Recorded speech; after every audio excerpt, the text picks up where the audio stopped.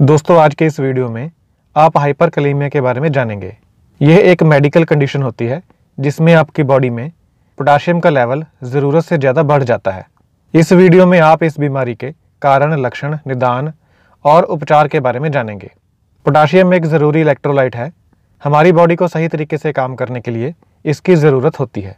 Potassium खास करके आपकी नसों, मांसपेशियों और दिल के लिए ज़रूरी होता है।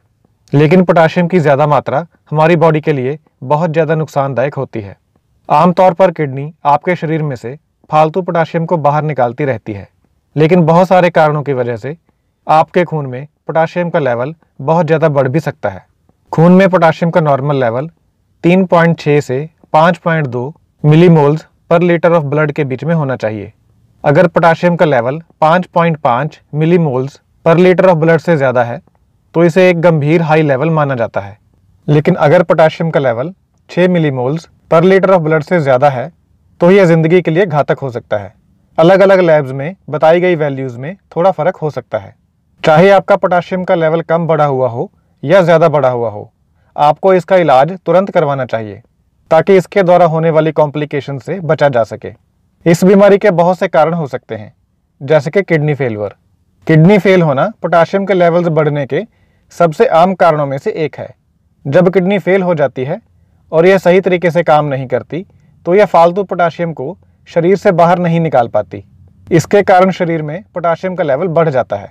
कुछ और बीमारियों के कारण भी पोटाशियम का लेवल बढ़ सकता है, जैसे कि dehydration type one diabetes Addison's disease और इंटरनल ब्लीडिंग कुछ दवाइयों की वजह से भी पोटाशियम का लेवल बढ़ सकता है, जैसे कि कीमोथेरेपी की दवाइयाँ और एंजियोटेंशन कन्वर्टिंग एंजाइम इनहिबिटर्स यह दवाइयाँ हाइपरटेंशन के मरीजों को दी जाती हैं, और एंजियोटेंशन रिसेप्टर ब्लॉकर्स यह दवाइयाँ high blood pressure heart failure और क्रोनिक किडनी डिज़ीज़ के मरीजों को दी जाती हैं।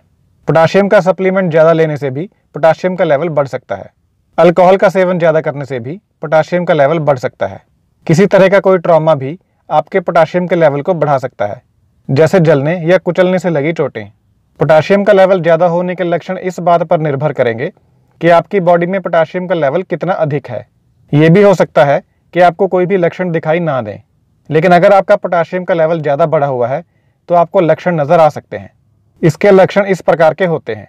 जैसे थकावट या कमज़ोरी, सुन्न होना या चींटियाँ लड़ने जैसा महसूस होना, उल्टी अथवा मितली, सांस लेने में कठिनाई, छाती में दर्द पाल्पिटेशंस या अनियमित दिल की धड़कन और कुछ गंभीर मामलों में पैरालिसिस या हार्ट फेलियर भी हो सकता है, क्योंकि हाई पोटाशियम लेवल्स के परिणाम गंभीर हो सकते हैं, इसलिए इस कंडीशन का तुरंत इलाज करवाना बहुत ही ज़रूरी हो जाता है। अगर आपको बताए गए लक्षण अपने आप में नज़र आते हैं, और या फिर टेस्ट के द्वारा यह साबित हो चुका है कि आपका पोटाशियम लेवल बढ़ा हुआ है तो आपको तुरंत इसका इलाज करवाना चाहिए। अगर आपके पोटाशियम का लेवल बहुत ज़्यादा बढ़ा हुआ है तो आपको हॉस्पिटल में दाखिल होने की ज़रूरत भी पड़ सकती है। आपके खून की जाँच करके या पेशाब की जाँच करके पोटाशियम के लेवल का पता लगाया जा सकता है। बढ़े हुए पोटाशियम के लेवल्स का इलाज करते समय डॉक्टर का मुख्य लक्ष्य ये होता है कि आपकी बॉडी जल्दी से जल्दी इस बढ़े हुए पोटाशियम से छुटकारा पाए और आपका हार्ट स्टेबलाइज रहे। अगर आपके पोटाशियम का लेवल किडनी फेल्योर की वजह से बढ़ा है तो इस केस में हीमोडायलिसिस इलाज का सबसे अच्छा विकल्प होता है। हीमोडायलिसिस में एक मशीन के द्वारा खून में से वेस्ट पदार्थ को निकाला जाता है। जिसमें फालतू पोटाशियम भी शामिल है। आपका डॉक्टर बढ़े हुए पोटाशियम का इलाज करने के लिए आपको कुछ दवाइयाँ भी दे सकता है, जैसे कि कैल्शियम ग्लूकोनेट। कैल्शियम ग्लूकोनेट आपके हार्ट के ऊपर पड़ने वाले बढ़े हुए पोटाशियम के बुरे असर को कम कर सकता है। इसके अलावा डॉक्टर आपको डाईयूरेटिक दवाइयाँ भी दे सकता है। इन दवाइयों के कारण आपको ज़्यादा पेशाब आता है। कुछ डाईयूरेटिक दवाइयाँ किडनी से निकलने वाले पोटाशियम की मात्रा में वृद्धि करती हैं, लेकिन कुछ डाईयूरेटिक दवाइयाँ ऐसा नहीं करती। आपके पोटाशियम के लेवल्स के आधार पर डॉक्टर आपको कुछ डाईयूरेटिक दवाइयों की सिफारिश कर सकता है, जैसे कि loop diuretics potassium sparing diuretics thiazide diuretics वह इन डायूरेटिक में से एक या अधिक की सिफारिश कर सकता है। इनमें से हर एक डायूरेटिक किडनी के अलग हिस्से को टारगेट करता है। कुछ मामलों में आपको मुँह से लेने के लिए रेसिन नामक दवा भी दी जा सकती है। रेसिन पोटाशियम के साथ बाइंड हो जाती है और पोटाशियम को टॉयलेट के साथ शरीर से बाहर निकाल देती है।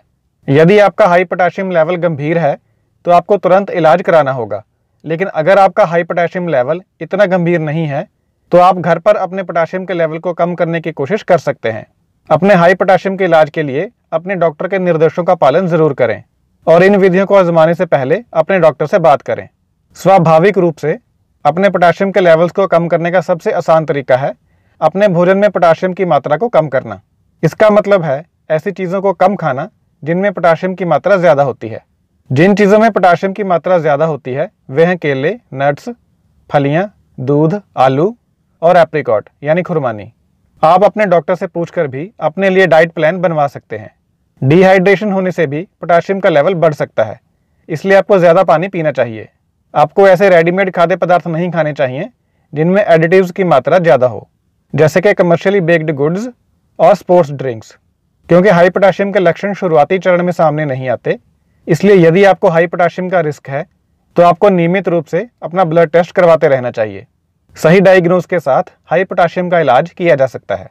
अगर आपको वीडियो में दी गई जानकारी अच्छी लगी है तो प्लीज़ इस वीडियो को लाइक कर दीजिए और मेरे चैनल को सब्सक्राइब भी कर लीजिए। Thank you so much.